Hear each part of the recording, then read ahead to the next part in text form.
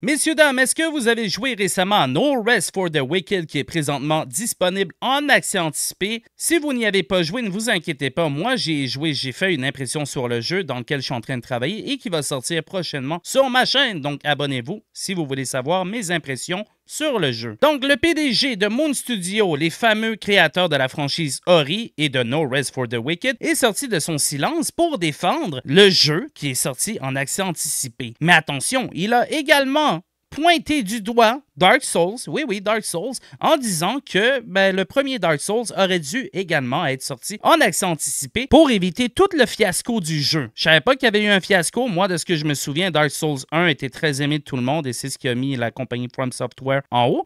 Mais OK, il est sorti. Allons voir qu'est-ce qu'il a dit, parce que le monsieur, il a parlé sur Twitter, puis il a dit un peu de la merde. En tout cas, c'est mon avis, vous me direz ce que vous en pensez. Allons regarder ça. Donc voici ce que le petit monsieur a dit. Nous n'en sommes pas à une semaine d'accès anticipé. Il est déjà clair que choisir EA est l'une des meilleures décisions que nous aurions pu prendre. Déjà là, monsieur, avoir choisi EA, je pense pas que c'est la meilleure compagnie. Je ne sauterai pas de joie de le dire, mais OK, monsieur. OK, bravo. Tu as choisi une compagnie qui adore les microtransactions. Euh, bravo. Je pense qu'à mesure que les jeux deviennent de plus en plus complexes et sophistiqués, nous verrons de plus en plus souvent une certaine forme d'accès anticipé. En parlant de notre propre expérience, nous n'aurions tout simplement pas pu sortir Wicked 1.0 sans pouvoir voir toutes les données que nous voyons actuellement et obtenir tous les commentaires des utilisateurs. Et je parle des utilisateurs réels, pas un test ciblé. Même si nous avions eu deux à trois fois plus de personnel, cela aurait été tout simplement impossible. Le produit est tout simplement trop complexe pour pouvoir raisonnablement s'attendre à Ensuite de ça, le petit monsieur Marler a ensuite suggéré que Dark Souls aurait bénéficié d'un lancement en accès anticipé si celui-ci avait été disponible pour From Software. Imaginez que Dark Souls 1 aurait été en accès anticipé au lieu de se précipiter pour expédier un produit en boîte dans un état quelque peu inachevé. Ils auraient probablement pu regarder la, seconde moitié de ce jeu tout en le formant et en le peaufinant. Les ondes les moins raffinées comme Lost, Isalite, etc., a-t-il déclaré. Yo mon gars, bro! Eh, eh, mon chum, Comment, comment tu oses parler de Dark Souls comme ça? Comment, comment toi, ton jeu, qui a des problèmes de performance, qui a des, des, des, problèmes de bugs graphiques et tout, t'oses parler de Dark Souls 1, là, mon chum? T'es qui, là? Oh, pourquoi tu t'attaques à From Software, là? Ça va-tu à la tête, là? T'es un petit studio et tu compares à From Software? Ceux qui ont fait Elden Ring, le jeu de l'année? Je comprends ton point, man. Je comprends ton accent anticipé que ça aide les développeurs à construire le jeu, à avoir un bon feedback. Mais le problème avec l'accent anticipé, messieurs, dames, c'est que ça enlève également un peu la créativité. Parce que toujours en prenant du feedback au niveau des gamers ou quoi que ce soit, ben on perd un peu de notre créativité en tant que développeur et finalement on veut juste faire un produit qui satisfera tout le monde. Mais le truc aussi avec l'accès anticipé, parfois ça peut donner des jeux de l'année comme Baldur's Gate 3 par exemple. Le jeu a été en accès anticipé pendant plus de trois ans, donc ça fait extrêmement longtemps avant que finalement il devienne le jeu de l'année en 2023 dans presque tous les événements de jeux vidéo au monde. Mais Larian Studios, ceux qui ont fait BG3, OK, ils aiment les jeux vidéo. Ils les adorent vraiment énormément. C'est des grands passionnés de Donjons et Dragons, de l'univers du lore de Baldur's Gate?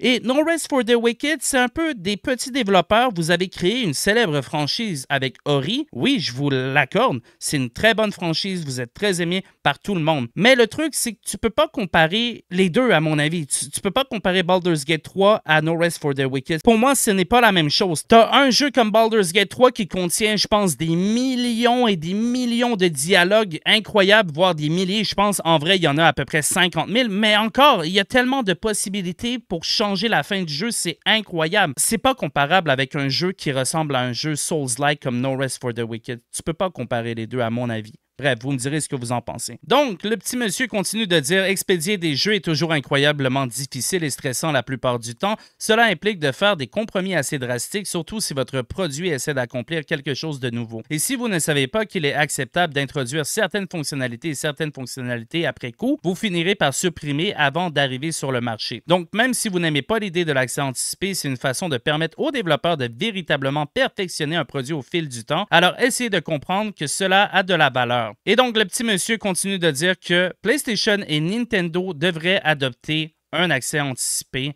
comme la majorité des développeurs indépendants de nos jours. Voici mon problème avec ta suggestion, mon chum. Déjà, tu t'es t'as fait un partenariat avec EA. Déjà, moi, EA, je les déteste, OK? Je pense que beaucoup de monde dans la communauté des gamers déteste EA pour leurs mauvaises pratiques, surtout avec les microtransactions et toute cette merde-là. Mais là, t'es en train de dire, d'inciter les grosses compagnies à venir faire la même chose que toi. Tu sais-tu qu'est-ce qui va arriver si tout le monde commence à faire un accès anticipé? Ça veut dire qu'ils vont toujours nous sortir des jeux qui sont même pas finis. Bro, les jeux, ils sortent à 70 dollars 80 ou 90, ils sont même pas terminés encore. Ils sont même pas finis alors qu'ils sont censés être terminés.